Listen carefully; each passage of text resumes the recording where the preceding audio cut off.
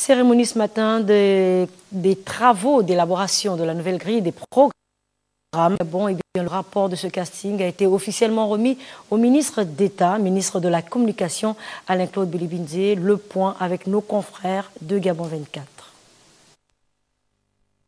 Deux mois après la télévision, c'est au tour de la radio nationale de se soumettre au casting organisé par le ministère de la Communication pour améliorer et booster la qualité des programmes très décriés de la radio publique.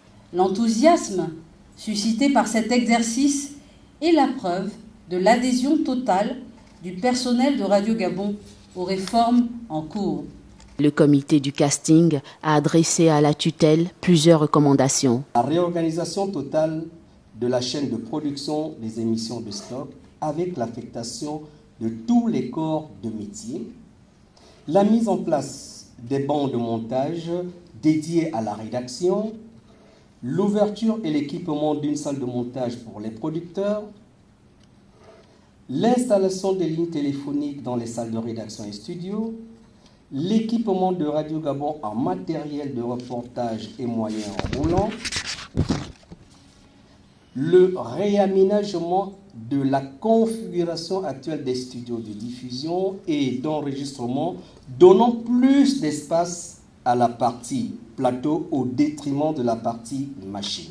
Cette opération de restructuration et du choix des animateurs et présentateurs vise à faire de la radio nationale un modèle aux côtés des radios africaines à travers ses programmes. Si nous voulons capter à nouveau l'auditoire, l'opinion, il faut que notre radio redevienne le premier réseau social.